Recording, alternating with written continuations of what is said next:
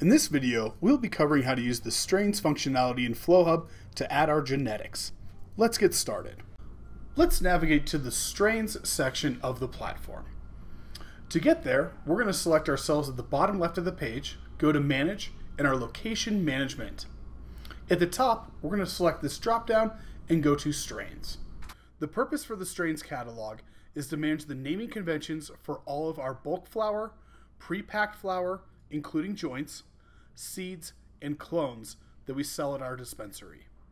Before trying to add these items into our inventory, we want to make sure that we have added the necessary strains. Select the addition symbol to the top right of the page to bring up the new strains window. The required fields to save a strain are going to be the strain name and the species of strain.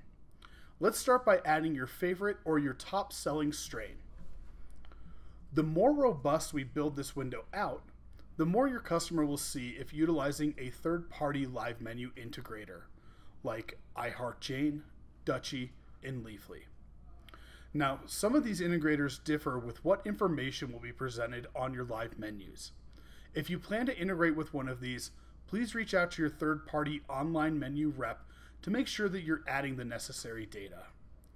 The details will be available for your bud tenders to view while in the cashier tab.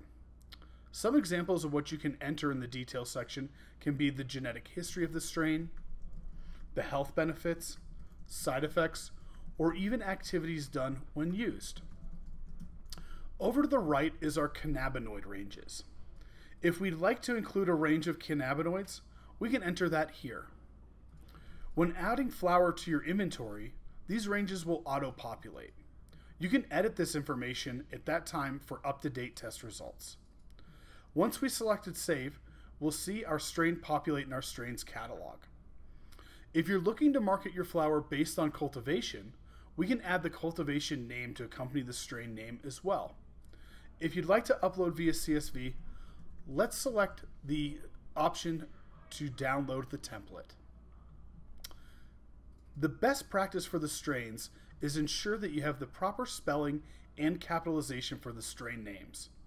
This information will be appearing on your labels, receipts, and live menus. In summary, we selected the addition symbol at the top right of the section, completed the window, and saved the strain to our strains catalog. Once you've completed this step, update this task status to done. If you need help, click the stuck button in your email or at mention us in the notes of this task.